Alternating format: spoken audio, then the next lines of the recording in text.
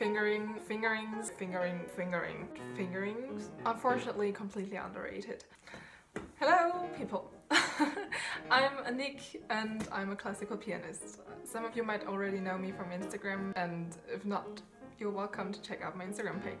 I have started to do like tutorials about playing piano and especially I wanted to do tutorials about fingerings because I think fingering is something that is unfortunately completely underrated. I mean, fingerings are so important and these are like the basics of playing piano and if you understand how a good fingering works, then this will like save so many hours of practicing and also many, many wrong thoughts on stage. So, what is a good fingering? There are different parameters that will have an impact on your fingering like physical and musical parameters. Physical parameters are like your piano as instrument, keys, mechanics and so on and your body as instrument like the fingers, the hand, the arm, the elbow, very important, the shoulders and the rest of your body actually. and then there are the like musical parameters like dynamics, harmony, melody, rhythm, and a lot of other things like everything that is written in your notes or like in between and uh, has musical energy.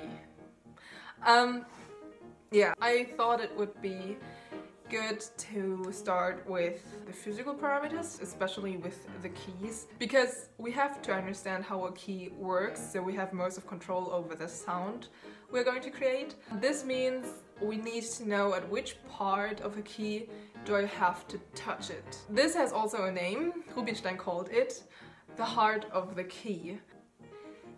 Well, if this is my key and I touch it here at the end of the key, um, this is quite like the part where you can really have a lot of control over the sound. And the more you play in the inner part of the key, the less control you'll have. Um, I mean, it's just physics. So if you keep your intention on playing in the heart of the key, then a lot of things are going to be easier and you realize that you have to change some fingerings so you can play in the heart of the key. Because I'm pretty sure that some of your fingerings do not allow you to play in the heart of the key right now. And this will let your fingers stuck in the keys so you can't really move them and you don't have that control that you actually want to have. So um, before I talk too much, I'll just show you some examples so you'll understand what I mean. As I said before, you'll find the heart of the key like in the front part of your keys. There you'll have most of control over the sound and over the key.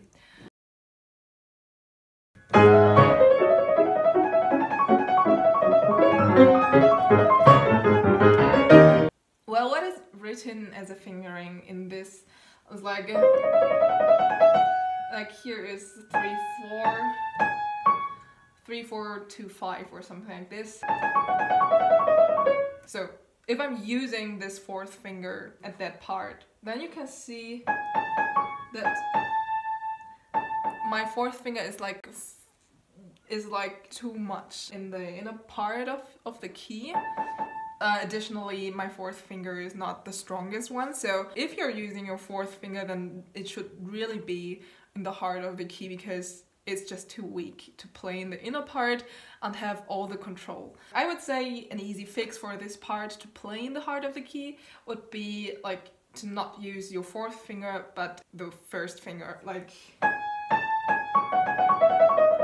This would guarantee you to play in the heart of the key and it's like gives your elbow a lot of freedom. So it is easier for you to stay relaxed at that part. So this was the video for today. It was my first video here on YouTube and if you like it, please give it a thumbs up and uh, if you have any questions or ideas, please put it in the comments down below. If you would like to see more videos like this, then please subscribe and don't forget to hit the bell.